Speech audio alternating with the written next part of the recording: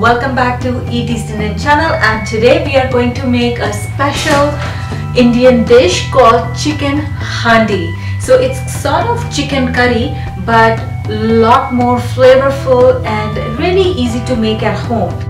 Now handi actually refers to a kind of clay pot in which this dish used to be made traditionally back in the day.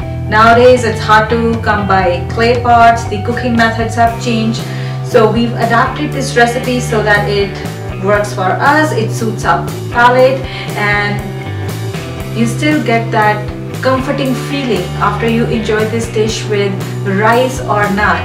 So let's go ahead in the kitchen and I will show you how to make chicken handi at home in the comfort of your own kitchen. Recipe for two.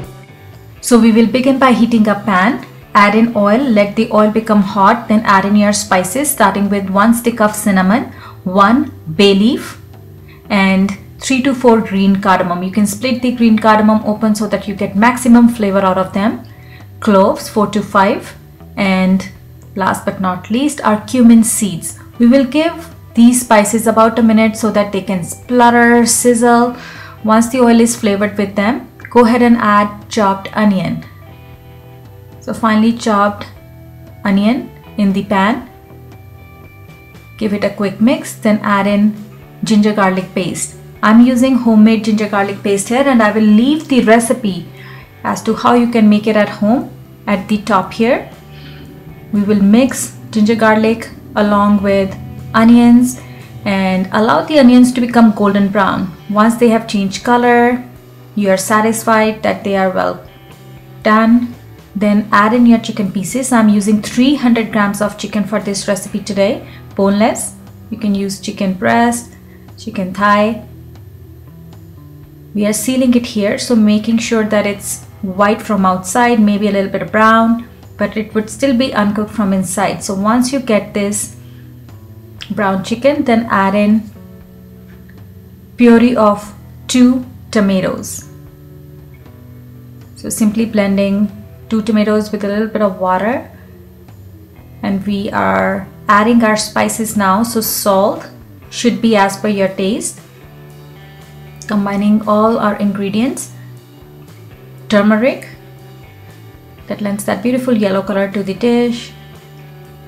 And red chili powder depending on how spicy you want your dish to be Mix these spices in and then cover your pan and let your tomatoes cook until they are no longer raw and you want them to dry out quite a bit just like so. You can see the tomatoes have cooked down. They are combined with the chicken.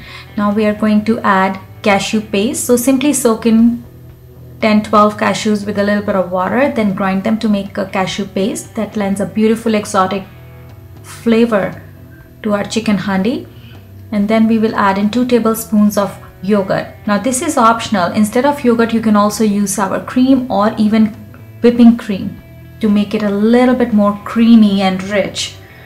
So depending on your personal preference you can modify the dish so that it suits your palate.